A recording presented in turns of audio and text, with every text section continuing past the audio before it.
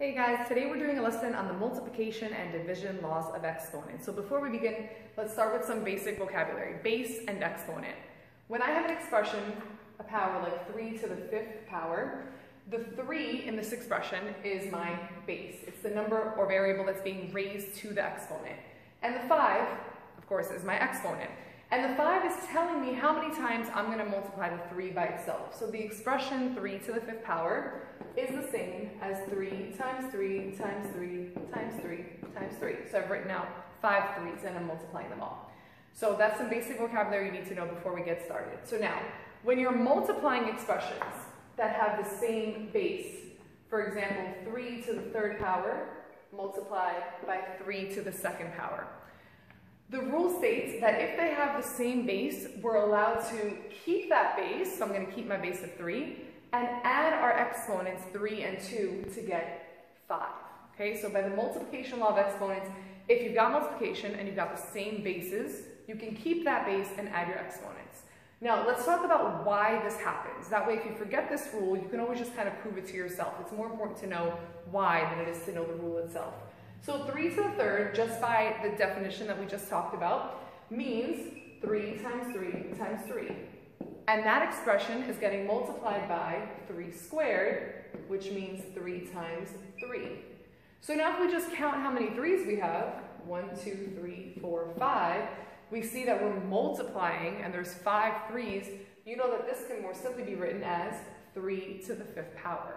Okay, so if you forget the rule, if you don't know whether you're supposed to add or multiply, or you just have no idea what to do, write them out. Write the expressions out in expanded form, and it'll remind you that there will be the sum of the exponents there. Okay, so now the multiplication law is useful because if you had an expression like 4 to the 20th multiplied by 4 to the 13th, we don't want to draw out 24s and 13 fours, right? So we can just follow our law. So remember our law told us, and I'll write it over here in variables for us, the multiplication law of exponents says that a to the n power multiplied by a to the m power is going to equal a to the n plus m power. So let's apply that law. Our base stays the same, so our base is 4, it's going to stay the same, and our exponents, 20 and 13, will be added to get us 33. So 4 to the 33rd is the simplified version of 4 to the 20th multiplied by 4 to the 13th. Okay? Let's do the division law of exponents. So the division law um, also only works if you've got the same base for now. So let's say we begin with 15 to the fourth divided by 15 to the second. We have division, we have the same base, so our law says that we can keep that base and subtract the exponents 4 minus 2 to get 2. And let's take a look at why this is. If I expand 15 to the fourth, that's the same as 15 times 15 times 15 times 15, right? And in the denominator, I have 15 squared, which is the same as 15 times 15. So now, if I start to, I notice that I can cancel some things out, right? Because 15 divided by 15 is just 1, and 15 divided by 15 is 1. So I'm doing 1 times 1 times 15 times 15. So this whole numerator can be simplified to just 15 squared and then there was nothing but a 1 in the denominator. So I got 15 squared, is the same answer I got when I did it with the shortcut, with the division law of exponents. Again, much more convenient to subtract once these exponents get larger. Let's do one more example with the division law.